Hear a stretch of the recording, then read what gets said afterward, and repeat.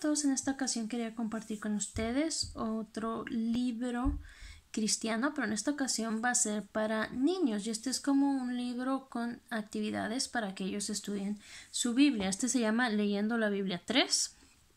En mi canal tengo diferentes videos de diferente material que sería leyendo la Biblia que corresponde el 1, el 2 y tengo también el 5, el 6 y el 7 ya en videos y pronto voy a estar subiendo el número 4 también. Esta serie de libros son para que los niños lean su Biblia y realicen algunas actividades como de comprensión o para que aprendan a estudiar su Biblia. El número 3 se va a enfocar. Bueno, antes de seguir les quiero comentar que este libro lo pueden conseguir así en forma impresa pero también lo voy a tener gratuito en mi blog a descargar en PDF. Y bueno, aquí está la tabla de contenido. Este libro se va a enfocar en Josué, en los libros de Josué, jueces, Ruth, va a tener algunos salmos y algunos versículos del libro de Isaías y Marcos. Entonces, como les digo, es un libro como de comprensión, pero lo que yo quería era que leyeran su Biblia, que los niños estuvieran leyendo su Biblia. Entonces, este, por ejemplo, aquí va a haber sopas de letras que van a ser con palabras que vengan en la lectura que hayan leído ese día. Va a decirse arriba, como en el título, y también en las instrucciones, qué versículos van a estar leyendo en ese día. Dependiendo de qué tan largo esté el capítulo, a veces leen el capítulo completo y a veces nada más unos versículos.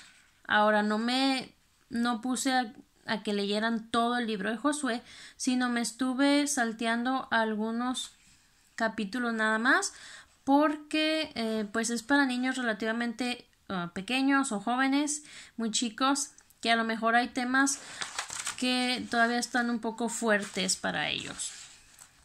Aquí van a estar escribiendo algún versículo, Va a haber un crucigrama de acuerdo a la lectura.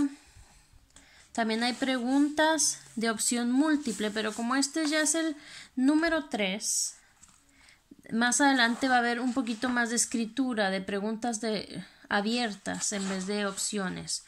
Vienen muchas partes para que dibujen lo que estuvieron viendo.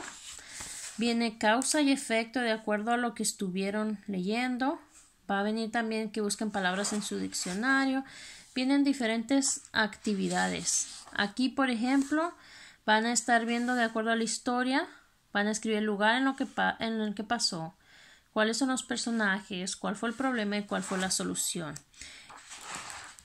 Aquí más de dibujar y diccionario.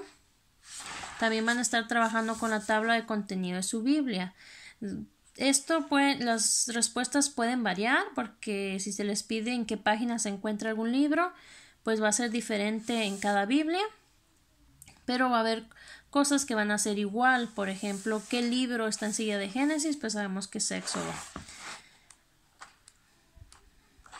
Se van repitiendo algunas cosas y luego ya va a empezar, como les decía, con más preguntas abiertas, porque ya es un nivel un poquito más arriba. Aquí van a escribir algún versículo.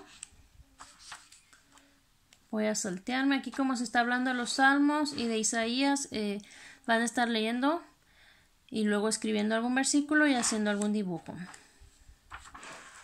Por ejemplo, aquí van a, es que, a poner una X o una tachita donde las acciones de los personajes de la lectura, si estuvieron bien o estuvieron mal. Entonces, por ejemplo, aquí tenemos Jesús predicaba la palabra. Bueno, ahí iría bien los maestros de la ley critican a Jesús, pues eso sería mal. Nada más un ejemplo. Aquí van a escribir en este como diagrama cómo era Jesús de acuerdo a la lectura. Más palabras de diccionario. Preguntas abiertas. Como les digo, aquí ya va a empezar con más preguntas abiertas y escribir bastante versículos. Aquí van a ordenar los eventos, cómo estuvieron pasando. utilizan mucho el diccionario.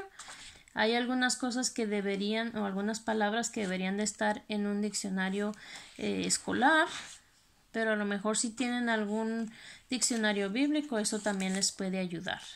Y al último termina con salmos. Espero les haya parecido interesante. Les recuerdo que pueden, descargar este gratuitamente en PDF. Puedo dejar los datos en la descripción. Hasta luego.